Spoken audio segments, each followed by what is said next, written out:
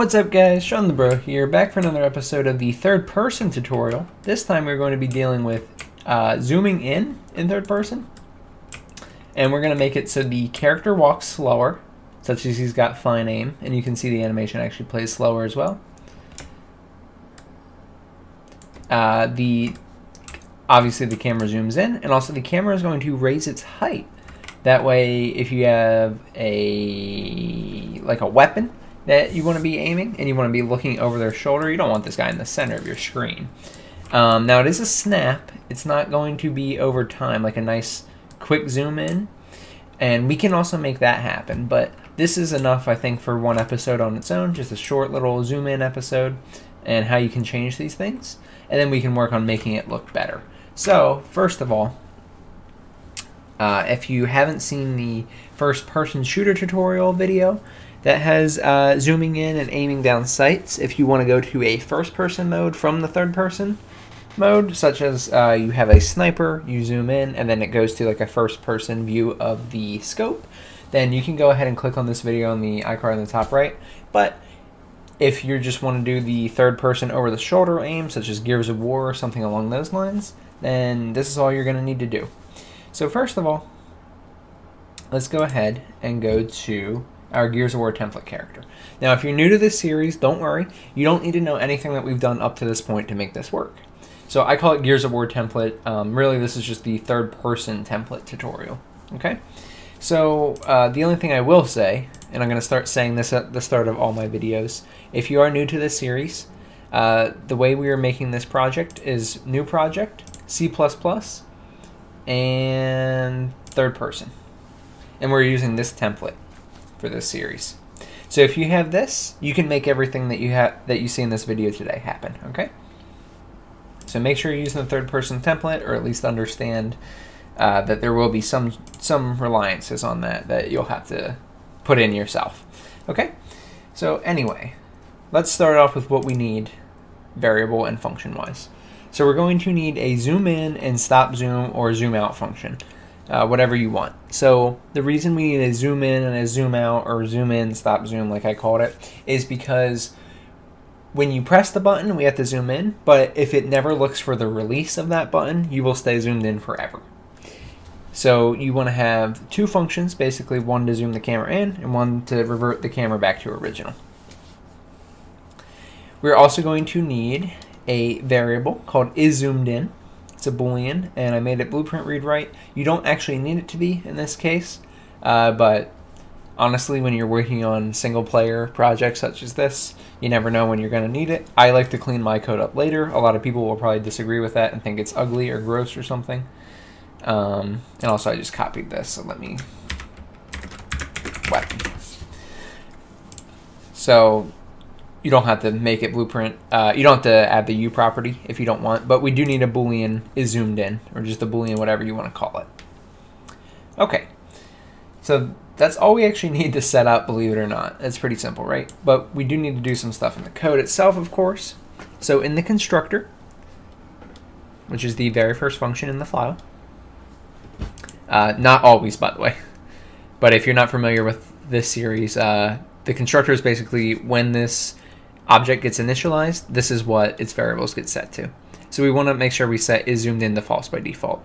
Otherwise, if we set it to true by default, then you will start in the zoomed in phase, which you probably don't want to do because you want to wait for their, the player input. All right, this next part we're going to need to go to the engine for, and people who are familiar with this series are probably going to be familiar with what I'm going to do, but we need to add the player input component uh, controls for this. So if you go to your engine, go to Edit and Project Settings, and then go to Input. I have a action mapping. You can hit the plus to add a new one. I call this one Zoom, and I put it to the right mouse button. So all you do is you click on the little drop down, select what you want. Like I wanted right mouse button, and then click it. There you go. Right mouse button. So what this means is uh, when I when this player input component value is found, then it will call a function, okay? So right mouse button is what we've assigned. Make sure you copy this name or remember what you called it. Case matters, so zoom. Go into your setup player input component function. This will be in your default character if you're using the third person template, or whatever character you have, just as long as you have access to this function.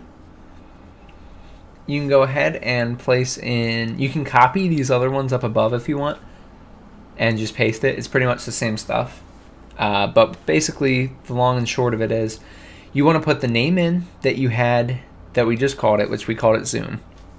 And we assign it to the right mouse button. You want a pressed and a released because when we press it, we want to call the zoom in function. When we release it, we want to call the stop zoom function. And then make sure uh, this is the right character class. If you did copy it from above, you might have copied the jump, which is actually from Unreal's A character class. But we want to use our overridden character, which in this case for me is the Gears of War template character. Okay, so that assigns, when I press the right mouse button, it's going to call this function. When I release it, it's going to call this function. So, of course, the last thing we need to do is actually make those functions do something. So, uh, to zoom in and zoom out, it's not too complicated. You just have to find out some of the variables or some of the objects that are attached to the actor. And I'm going to give you kind of a general tip because you might want to do things that I don't mention in this video. You can go to the third person character right here in the world outliner of Unreal. Open this box a little bit and you can see the components he has attached to him. He's got a camera boom. So the camera boom is where he's actually positioned, right? So if I change the target arm length, then you see he gets closer to the camera. So by default, he's closer to the camera. Okay, so you can change them right in here. Let me, uh, whoops. Uh, let's see. So you can change it right in there. The issue is, of course, you want to change it at a certain time, like when you press the right mouse button, or maybe you don't want to do it on one certain character because you want everyone in that that's using that code class to do it, especially in a multiplayer game or in games where characters are dynamically spawned. It's not going to work where you can just assign it right on the spot like that. But this little world outliner thing and looking at the components on this template character are a really good way to determine what variables you need to access, and it's a lot of the time how I end up finding them. Okay, so the camera boom, I knew the target arm length was one of the ones I needed because that zoomed it in. And then also there's the target offset, which determines like where the camera is actually placed in relation to him. Um, and speaking of, actually, I want to go ahead and edit this when we're done. So let's go ahead and go over the functions and then I'll edit the values to make it look a little bit nicer even. So the zoom in function and the zoom out function are pretty much the exact same function but with different values.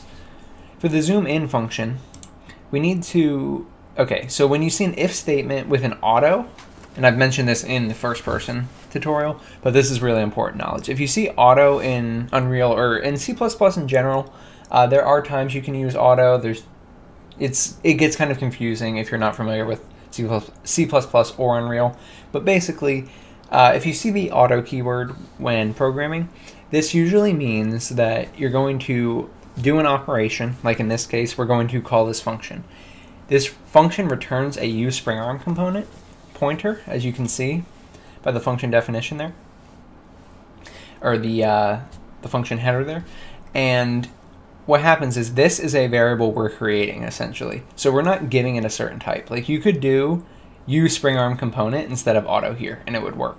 The reason you can do auto is because it'll just pick up on the the proper type returned.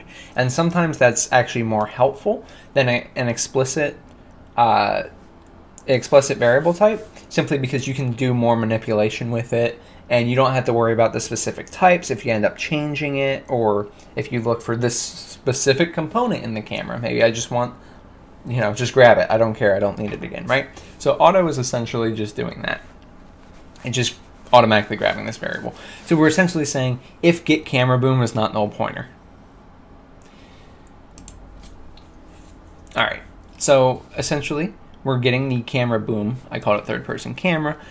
And I'm just putting a log. You don't have to do this, but this is, we are now zooming in. This is just a little safety check in case it's not working. You can see if this log is printing. If it's not printing, you're not getting into this function. Then all we do is change the target arm length So third person camera, which we made right here, target arm length. Third person camera, target offset. So the target arm length determines the zoom, the target offset determines where it's positioned, which by the way, this is what I wanted to change. So it's the y axis. So let's see here. For the y axis, I don't know what a good value would be, but maybe 20. And the reason I'm doing this is I want to kind of position it over his shoulder so he's not right in the center of the screen.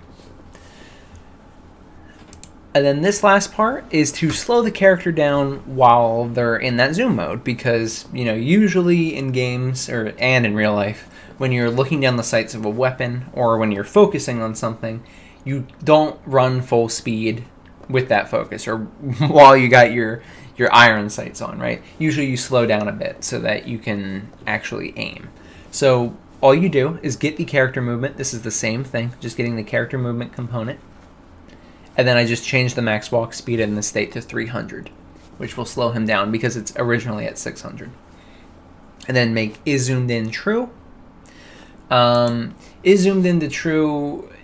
It's not necessary that you have any logic with this right now.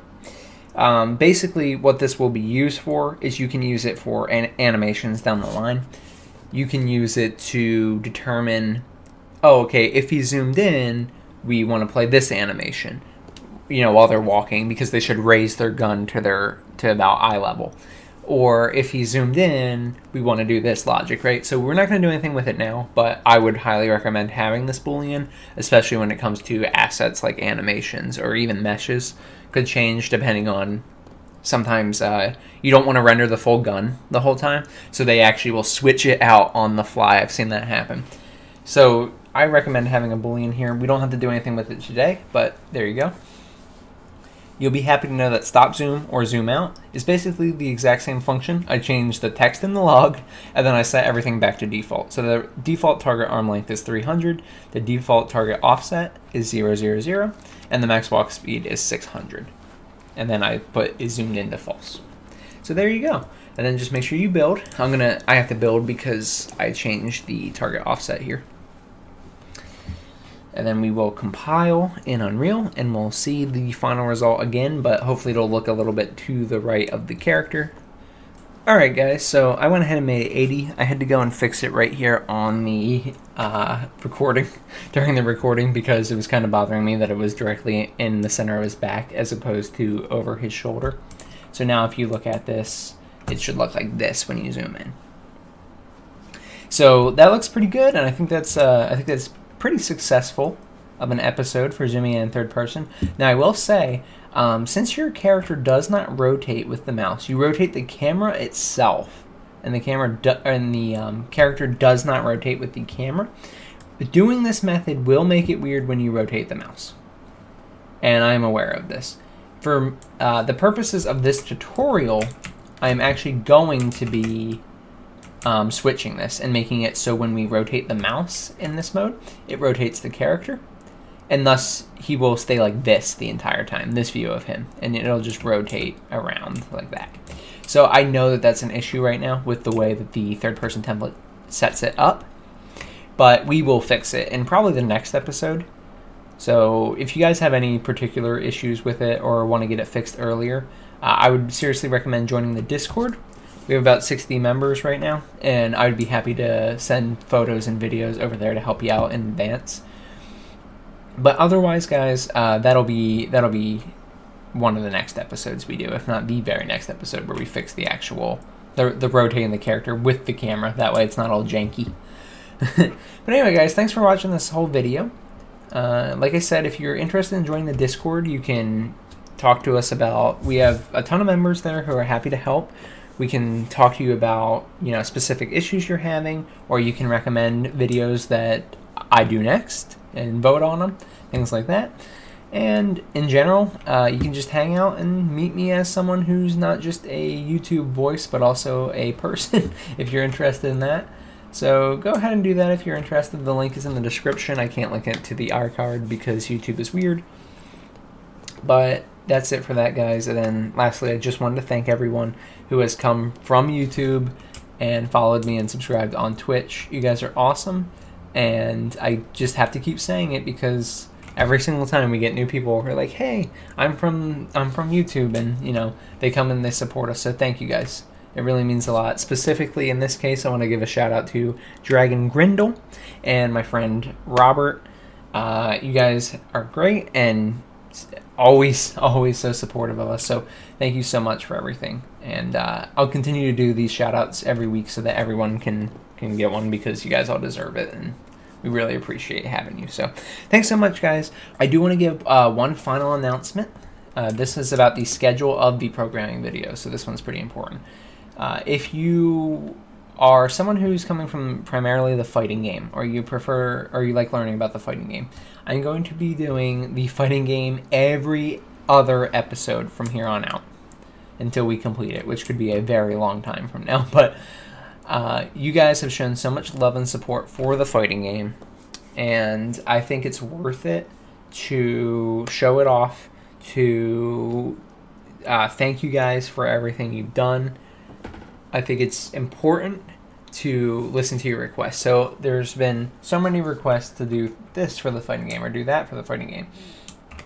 And I've only been doing one fighting game episode a month. I do one episode about the series a month. But I was doing the tracking, and it would take about six months to finish all the requests I have right now for the fighting game. So six episodes, right? But if I do it um, every other week, so two episodes a month, then I can get it out in obviously half the time, but even a little under, or, or even around two months, the way it actually lines up in the calendar with where we're positioned right now. So, yeah, if you guys are big fans of the fighting game, uh, you can be hopefully very excited about that. So give me all your video requests. I'll be doing that. But don't worry, all the videos will be uh, maintaining their current rotation period, other than the fighting game will be added in between each and every one of them. Alright, guys, so that's seriously all I have now. So thanks for listening to my little rambling. But I appreciate you. Uh, if you want to help me out here on YouTube, the best thing you can do is subscribe. Uh, it means more to me than anything, and it just genuinely supports me more than anything. So being completely transparent. So if you're interested, uh, do that, and then it'll let you know when I post a new video of the fighting game or other. So anyway, guys, thank you so much. I'm Shawn the Bro. Have a good one.